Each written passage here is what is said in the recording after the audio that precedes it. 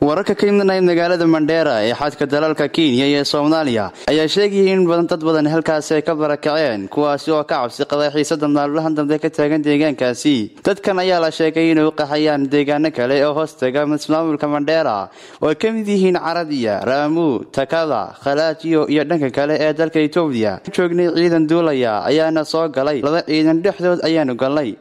Halkaana waxa waa xuduud caruurtii iskuullada aaday khatar ayay ku jiraan nafsadeenna khatar ayay ku jirtaa. Aan qaxaynaa sababtoo ah haddii uu madfac ku soo dhaco halkii aan aadi doona ay tiri haweenay ka mid ah dadka maanta ka qaxay mandheera dowladda kenya ayaa sheegtay inaysan waxba ka qaban ilaalinta ammaanka magaalada taasi ay keentay inay u barakacaan deegaano kale ee mandheera sidoo kale rashiid saaq oo ka mid ah dadka ka qaxay magaalada ayaa sheegay in dagaalka dhowaan ka dhacay xuduudka uu khatar badan ku keenay noloshooda. Haatanna aysan doonaynin arrintaasi oo kale la kulmaan. Ka badan dadka ayaa ku qaxaya basas isaga kala goosho deegaanadaasi. Waxaana sidoo kale lagu soo waramayaa inuu sare u kacay qiimaha lagu raaco daabuurta. Barakacan ayaa ku soo deegmiyey xil uu jiro xiisad ka dhacaysa ciidamada dowladda soomaaliya iyo kuwa jubbaland oo gudaha u galay magaalada mandheera ciidamo ka tirsan jubbaland ayay dadka deegaankaasi sheegay inay ku sagi yihiin qayba kamida mandheera ee dhanka xuduudka kenya. Inkastoo jubbaland ay arrintaasi deenisay inkastoo hadda uusan jirin dagaal socda haddana waxaa jira dhaqaaqyo ciidan oo ciidamada jubbaland iyo kuwa dowladda. Waxaana suurtagal ah in mar kale la isgacmo saaro. Xamse muuse cabdi xamse dalxa